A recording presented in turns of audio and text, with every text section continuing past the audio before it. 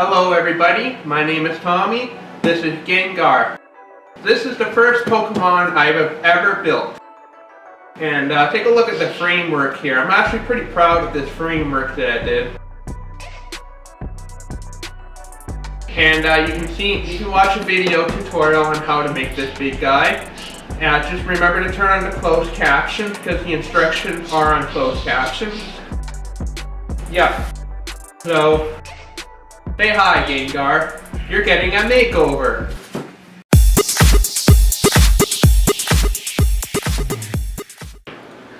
Alright, so here's Gengar. So this is what he looks like right now. He looks pretty wrinkly. Yeah, you can see the cardboard sticking out. And this is not very durable. Hey, look at that. It's just very soft. He doesn't look that great. Uh, these are, yeah, this is getting covered in dust. Yeah, his arms are movable. His hands, I don't like his hands. I think I might sharpen them a little bit. And look at the feet. I do like what I did with the teeth and his tongue here.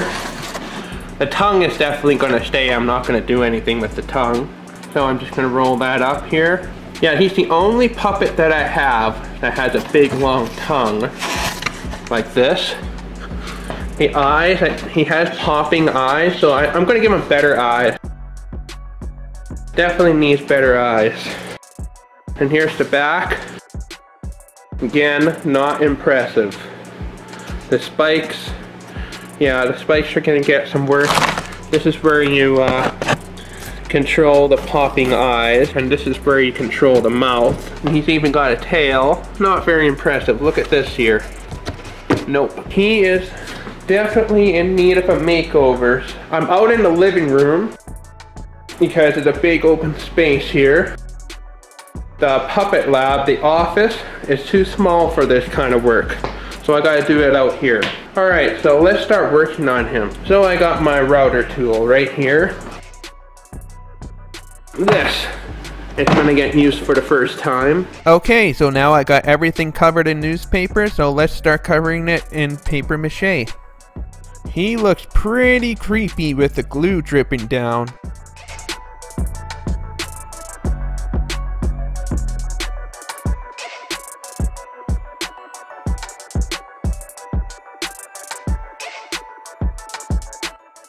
Put his tongue in here so they don't get any glue on it. So I got the front covered in newspaper except for the top of the head and around the eyes. That's gonna, I'm gonna do that a little bit later. So I'm just gonna cover it all in uh, tissue and see what he looks like from there. But he's definitely looking a lot better.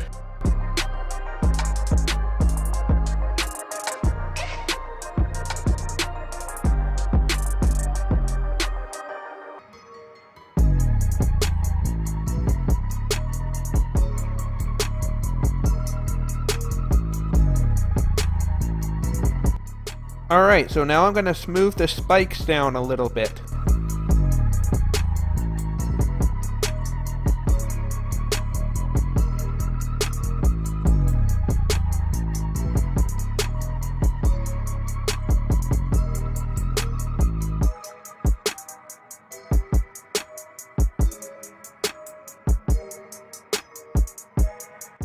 Okay, so Gengar actually has very short feet. These are too long. That looks about right there.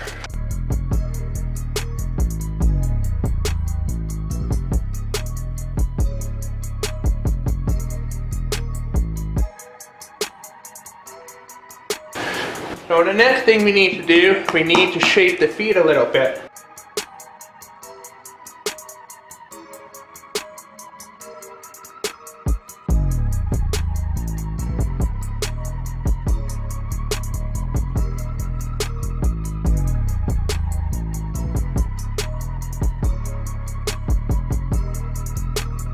Alright, so now it's time to smooth them down.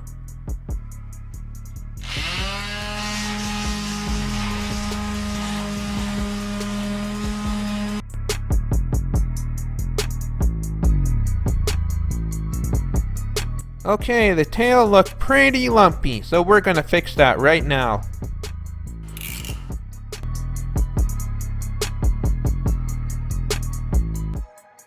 Okay, let's start working on the back. Alright, so I just worked out the wrinkles and now it's covered in newspaper so now I just need to cover it in tissue and glue.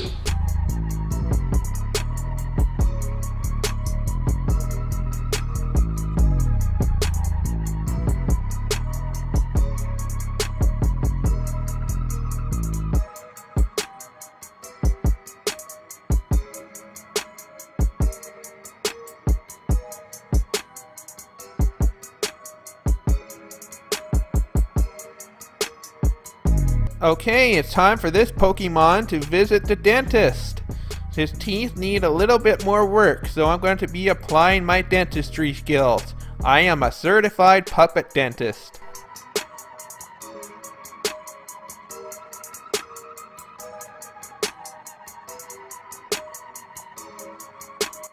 Alright, let's keep working on the teeth.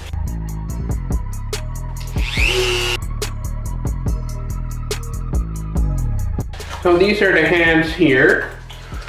As you can see, they don't look very good. Look at them. Yeah. So what I'm going to do is I'm going to sharpen them because he knows Shadow Claw. So, yeah. We're going to make them, we're going to make some nice hands for him. I got my handy dandy router tool. I gotta be careful when I'm using a knife. They're very sharp. Always cut away from yourself never towards yourself.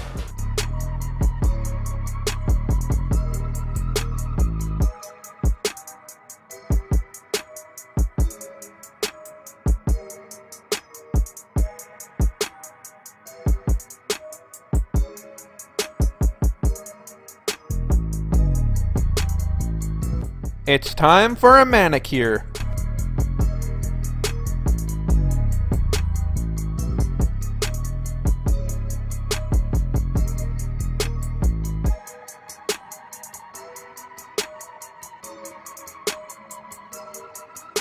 Alright, so we're going to make Gengar some more 3D eyes. I have an idea on how to keep the popping eye action. So let's make him some better eyes.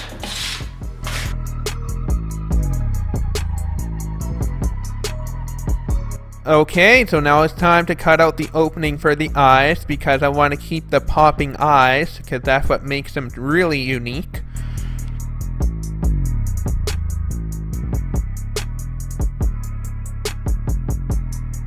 So let's install them, and I'm going to be using a hot glue gun, so I'll be wearing gloves, because I don't want to burn myself. Okay, and this, this part here is a little too flat. So in order to make the eyes look a little more natural, I'm actually going to add some newspaper around here, just right up to here.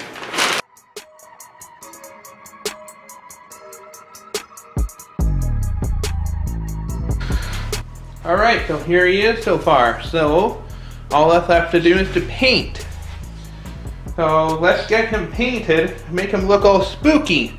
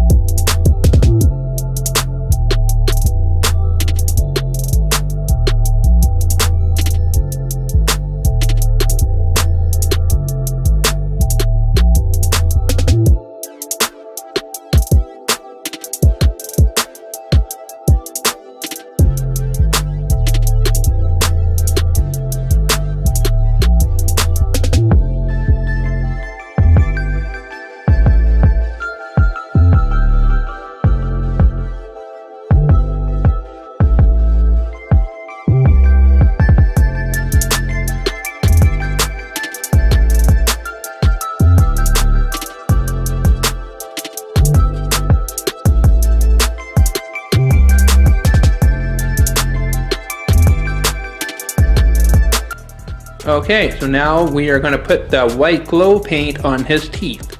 And then I will do the eyes next.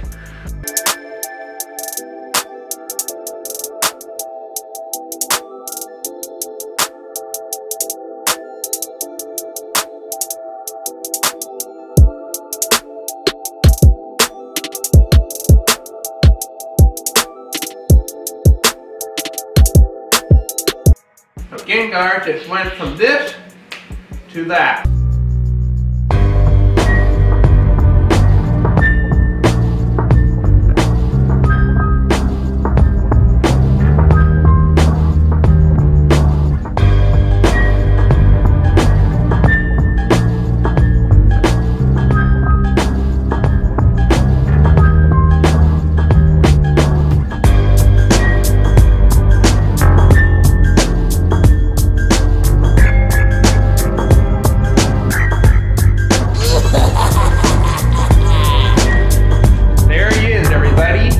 Finished. Do you think he looks better? Please tell me in the comments below. I'd like to know what you think. I think he looks a lot better. He's definitely a lot more solid than he used to be. A little creepier too. Apparently, if you see Gengar giving you a menacing look, that means he's trying to inflict a curse on you. Yeah, I'm in big trouble. That's just great! Well, I hope you enjoyed that video. Thank you so much for watching, and I'll see you all next time. Charizard is getting a makeover next. Bye-bye.